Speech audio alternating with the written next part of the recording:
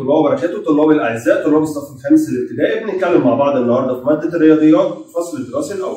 في الوحدة الخامسة بعنوان عملي عمليات الضرب والقسمة مع الكسور العشرية. المفهوم الأول ضرب الكسور العشرية. هنتناول مع بعض الدروس من الدرس الأول حتى الدرس الرابع. الدرس الأول هنا عندي بعنوان إيه؟ الضرب في قوى العدد 10 أول حاجة بيقول لي أوجد ناتج. 47 و63 جزء من 100 في 100 طيب نركز هنا في السؤال.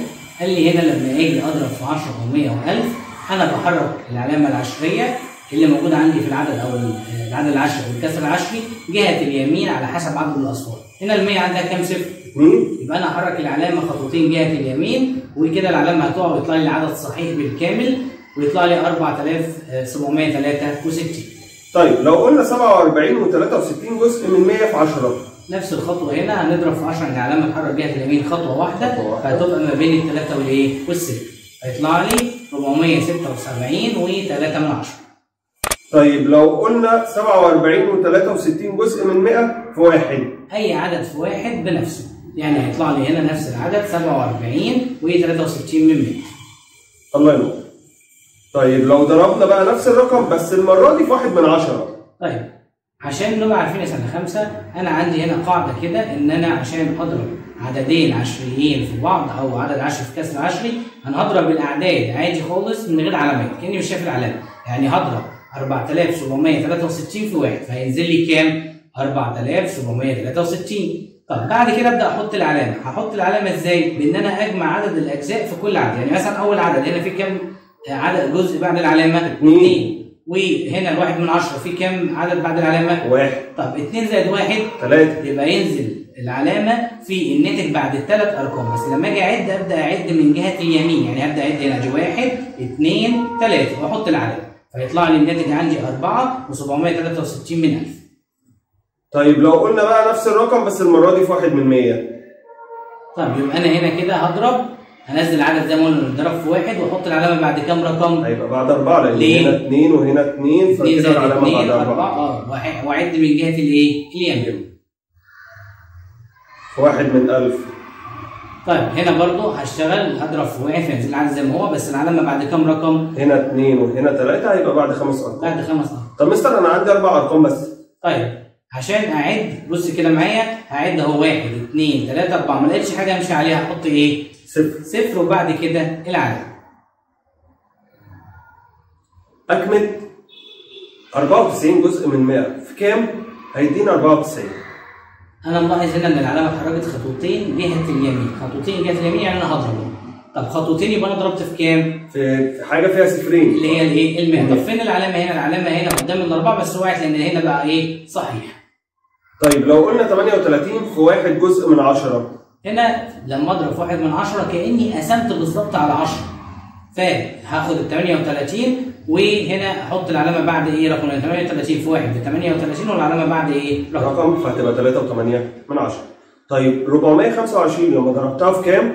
بقت 425 جزء من 1000 تمام. هنا برضو نفس ال- ال- الفكرة إن هنا كده آه، آه، إن أنا هنا ضربت في آه، واحد من الألف أو إن أنا قسمت على آه، ألف. تعالوا كده ننتقل لأسئلة المتفوقين ومع السؤال الأول نشوف هيقول لنا إيه.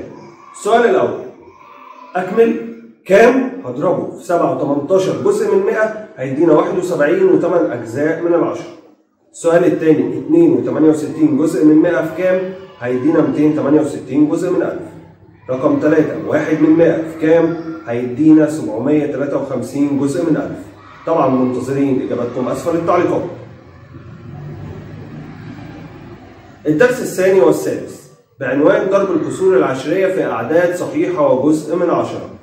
أوجد ناتج ضرب 4 من 10 في 3. طب هنعمل إيه؟ هنا هنضرب برضو 4 في 3 بكام؟ 4 في 3 ب 12. ونحط الع- العلامة بعد رقم واحد تعالى نشوفه كده طيب هنا الناتج إحنا عرفناه خلاص هيطلع واحد واثنين من عشرة تعالى نشوف بقى باستخدام استراتيجيات مختلفة هل هيطلع برضو نفس الناتج بتاعنا اللي هو طلع لي آه، واحد واثنين من عشرة ولا لأ؟ طب أول استراتيجية عندنا باستخدام خط؟ الأعداد. طب هنكتب مسألة الضرب في صورة عملية تكرار الجمع. إحنا عارفين إن تكرار الجمع هو الإيه؟ الضرب. فلما يقول لي 4 من 10 في 3 يعني أنا كررت ال 4 من 10 كم مرة؟ ثلاث مرات يعني ثلاث قفزات وعلى خط الأعداد كل قفزة هعملها بأربعة من إيه؟ من من عشرة. 10 أدي خط الأعداد. وخلي بالك أنا مشيت لو تلاحظ كده صفر 1 من 10 2 من 10 3 من 10 وهكذا لغاية لما يكفي معايا. ها أول قفزة ب 4 من 10 بعد كده قفزت تاني ب 4 من 10 وصلت لكام؟ ل 8 من 10 القفزه اللي وراها اللي وراها ب 4 من 10 وصلت لغاية مين؟ واحد واثنين من عشرة اللي هو الناتج اللي إحنا اتفقنا عليه. يبقى الناتج واحد واثنين من عشرة رقم اثنين باستخدام النماذج هنرسم ثلاث مجموعات كل مجموعة فيها كم عمود؟ أربعة أربع أعمدة. بحيث كل عمود يمثل جزء من عشرة يلا بينا أدي أول أربعة من عشرة أدي تمام الأربعة من عشرة التانيين آدي تالت أربعة من عشرة. تعالى بقى نجمع. اداني كام؟ واحد واثنين من واحد كامل واثنين من عشرة. لأن الواحد بيساوي 10 اجزاء من 10. باستخدام الخوارزمية المعيارية. لإيجاد الناتج نتبع الخطوتين التاليتين. أول حاجة نضع العددين رأسيا دون العلامة العشرية. زي ما اتفقنا مع بعض 4 في 3 هيطلع لي كام؟ 12 12 طيب بعد كده نضع العلامة العشرية بالناتج في نفس ترتيبها من جهة اليمين.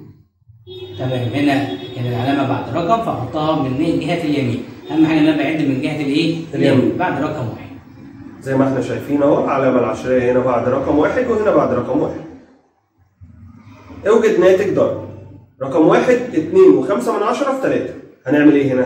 طب هنا ممكن نستخدم على طول الطريقة بتاعتنا هنضرب 3 في 25 هيطلع لي كام؟ 3 في 5 ب 15 5 معايا الواحد 3 في 2 ب 6 و1 7 طلعت لي 75 كده أنا خلصت؟ لا أنا كده ناسي العلامة العشرية. أحط العلامة العشرية بعد كام رقم؟ رقم واحد. بعد رقم واحد لأن هنا 2 و5 من 10 علامة بعد رقم. فتطلع سبعة وخمسة من عشرة.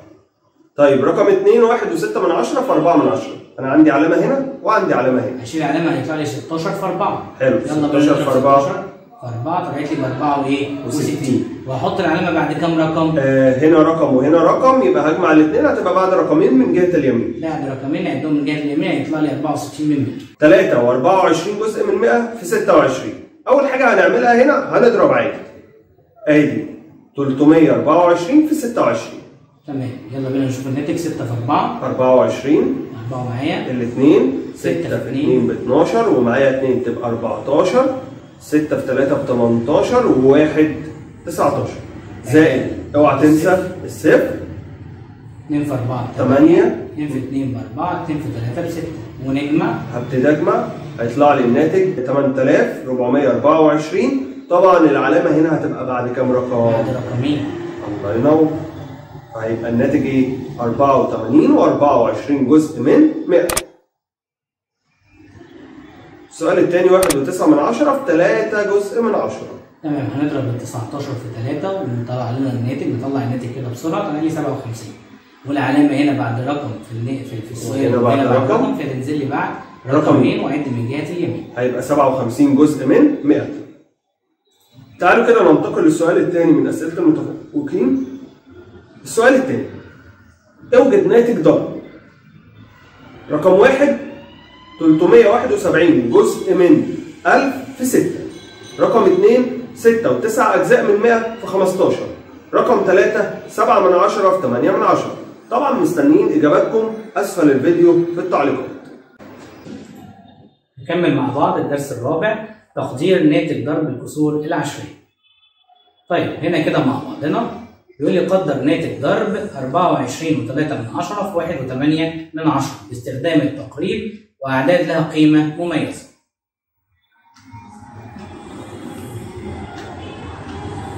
طيب تعالى كده ادي المسألة عندي اللي هي 24 و3 من 10 في 1 و8 من 10. طيب أول حاجة هنا بيقول لي باستخدام التقريب مرة وهنا هنستخدم أعداد آه، لها قيمة مميزة مرة. تعال نشوفه باستخدام الإيه؟ التقريب. هنا هنقرب لأقرب وحدة فطلع لي 24 3 من 10 كام؟ 24 لأن الثلاثة لا تعطي لا تعطي تمام. هنا 1 و8 من 10 هتبقى لنا ليه؟ لأن الثمانية تعطي تمام كده أنا قربت لأقرب إيه؟ وحدة أو لأقرب عدد صحيح. أضرب بقى آه 24 في اثنين الاثنين طلع لي بكام؟ هيطلع 48 48 كده أنا استخدمت الايه؟ التقريب. طيب استخدام أعداد لها قيمة مميزة.